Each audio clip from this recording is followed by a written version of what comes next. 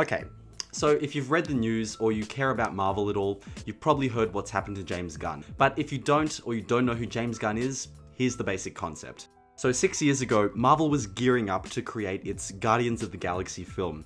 Now, this was a scary thing for them because the characters hadn't been depicted in cinema before. Characters that had names like Star-Lord and Drax, who we now picture as Chris Pratt and Dave Bautista, but back then, they were nowhere close to being as well known as Iron Man, Captain America, or even the Hulk. It was a sink or swim moment for the company, who, after being able to rely on its famous characters to get people paying for tickets, now had to hope that the Marvel name alone could be an indicator for quality. Basically, the film needed to be good.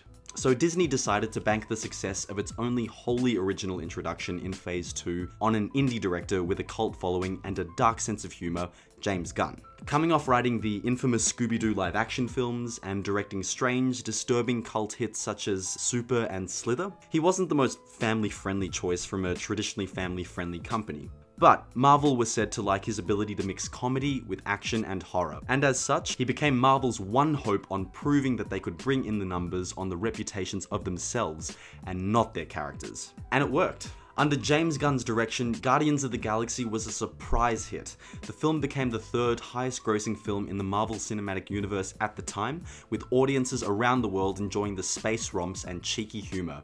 And Marvel seemed happy enough to bring Gunn back to direct its sequel, a privilege reserved for only a few directors within their universe. And that went on to do even better at the box office. Gunn had crafted the riskiest introduction in the Marvel Universe into one of its strongest franchises. And as Disney's way of showing their gratitude, they fired him because of some tweets he wrote before he was even hired. Now, I want to make one thing clear, because I wouldn't mind directing a Marvel movie at some point, and I don't want Disney to rule me out because of something off color I might say because apparently they do that. I don't think James Gunn's tweets were appropriate or in good taste, but as offensive as they are, the notion that an artist, specifically an artist that has given so much of themselves to this franchise, should have that all stripped away due to some poorly thought out humor, should be equally offensive to any person that values freedom of creative expression.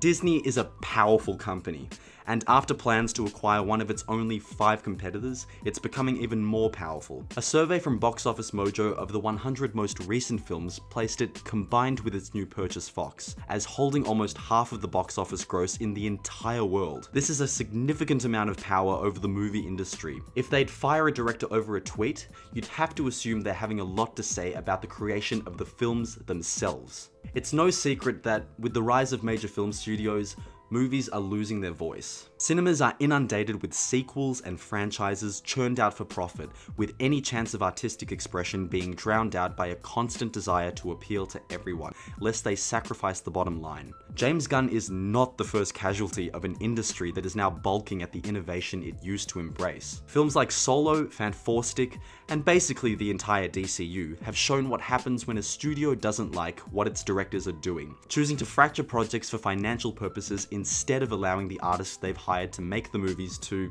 you know, make the movies. Now, I know what you're thinking.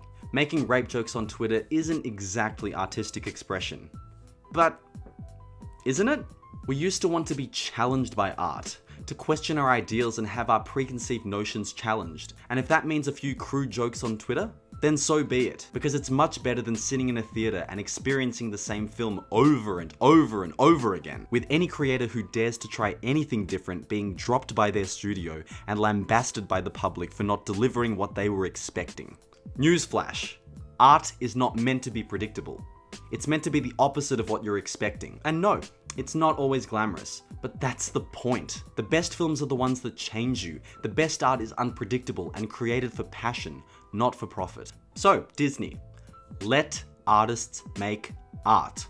And if you're not going to commit to hiring these risky yet rewarding personalities, then go off and hire one of the thousands of run-of-the-mill filmmakers that will gladly bend over and churn out safe, inoffensive products. And I hope you enjoy the less than stellar box office returns. Because unlike you, I have faith in the people to crave unique experiences that challenge their worldview and surprise or even offend them, because that's what film is all about. And I'm not ready to give up on it just yet.